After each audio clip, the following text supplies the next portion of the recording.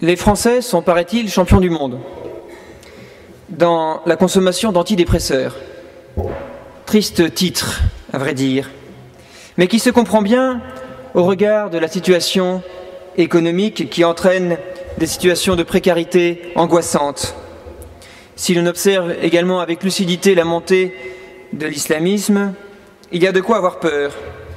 Les projets de loi anti-chrétienne ou simplement anti-humaine, comme le mariage homosexuel et l'adoption d'enfants par ces derniers, comme la recherche sur les cellules souches embryonnaires, comme l'avortement, l'euthanasie, tous ces projets de loi peuvent assez naturellement nous faire sombrer dans un pessimisme démoralisant.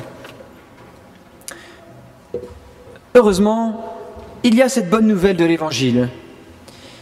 Certes, l'Évangile passe par la croix, par cette mort, mais il passe d'abord par la joie de Noël et par la joie encore plus réconfortante de la résurrection.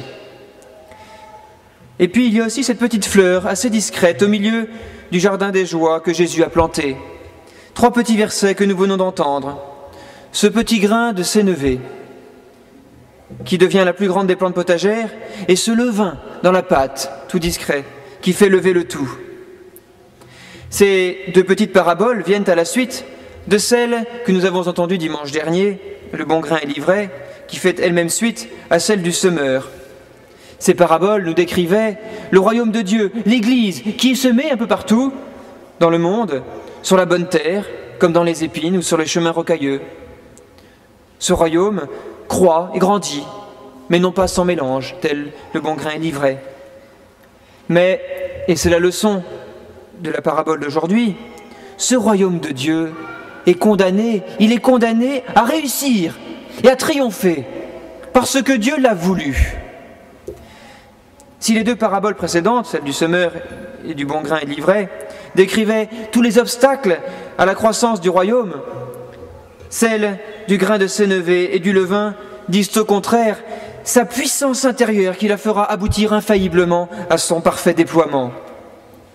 Cette parabole ne laisse donc pas de place au doute, au pessimisme, au défaitisme. L'Église triomphera quoi qu'il arrive, quelles que soient les attaques, qu'elles viennent de l'extérieur ou même de l'intérieur. Voilà qui est plutôt consolant, voilà qui peut nous apporter l'espérance. À une récente formation au leadership, animée par euh, Marc et Florence de les promoteurs d'Alpha en France, ces parcours qui ont fait leur preuve, vu le nombre de conversions qui, se sont opérées à travers eux. Ces derniers, donc Marc et Florence de Lérite, sont témoignés de leur expérience au dernier synode sur la nouvelle évangélisation à Rome. Ils avaient été invités par Benoît XVI personnellement, en tant que couple, pour parler de cette expérience. Et ils nous ont fait partager leur enthousiasme d'avoir pu être témoins, avec notre évêque, Monseigneur Ray, qui avait été invité également à ce synode, d'avoir été témoin d'une Église en pleine croissance. Ce qui, vu de France, nous paraît un peu surprenant, on a tendance à l'oublier.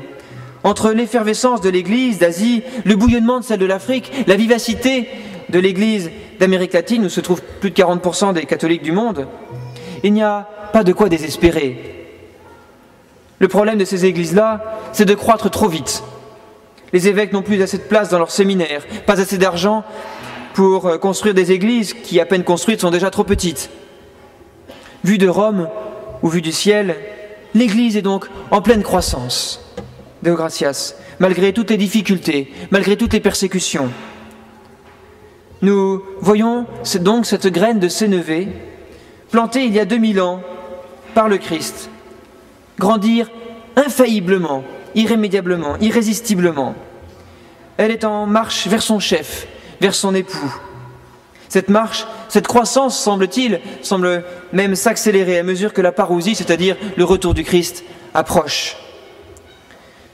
Ce qu'il faut donc, retenir pour nous, c'est cette invitation de Jésus à la confiance, à la patience et à l'humilité. Remarquez la fragilité des commencements, la petitesse de la graine, Douze hommes au départ. La petitesse du levain comparée à la taille du résultat. Plus d'un milliard et demi de catholiques aujourd'hui. même si c'est encore insuffisant, puisqu'il y a 7 milliards d'êtres humains sur Terre. Mais donc, patience, la moisson viendra. Mais l'heure aujourd'hui, l'heure est à la germination.